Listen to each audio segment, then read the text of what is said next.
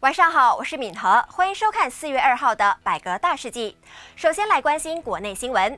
自动执法系统阿瓦斯扣分制昨天开跑。陆路交通局总监纳兹里希隆就说，初步阶段将会针对超速驾驶及闯红灯两项违规行为进行扣分，违规者将会面对接获警告、冻结或是直接吊销驾驶执照的惩罚。根据最新的计分制度，当局将会分阶段进行这项扣分制。第一次被扣二十分的人将会接获警告，第二次到第四次被扣二十分就会被当局有限期的吊销驾照，第五次被扣二十分就会被永久吊销驾照了。不过，如果违规者在期限内遵守交通规矩，就会减少所扣除的分数，以此类推。另外，闯红灯者将会直接被扣十分，超速一到二十五公里被扣六分，二十六到四十公里被扣八分，以及四十公里以上则是会被扣十分。有关当局也将会确认适合的地点来增设自动执法系统，不过进一步的详情还有待有关当局对外公布。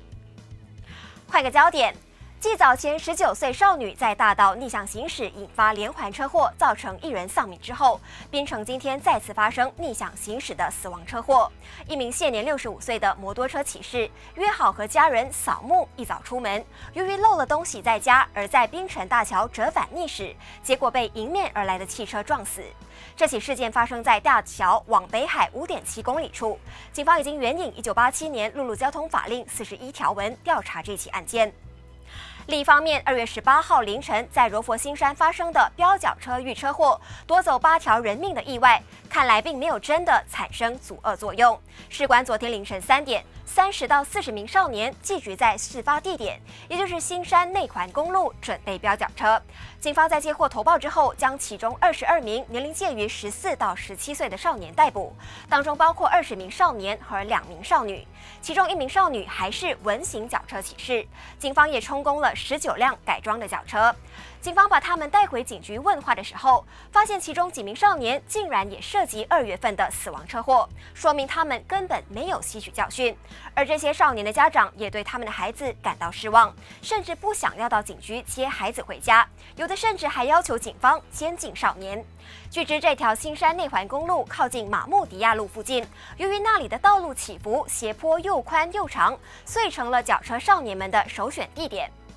接着把焦点转向国际，多个地区昨天暴雨成灾。哥伦比亚普图马约省发生严重的山泥倾泻，十七个社区的大批民房被摧毁。由于事发时是凌晨时分，许多睡梦中的民众是来不及逃命，而导致死伤惨重。至今已经有死亡人数高达六百五十四人，另外有两百二十人失踪。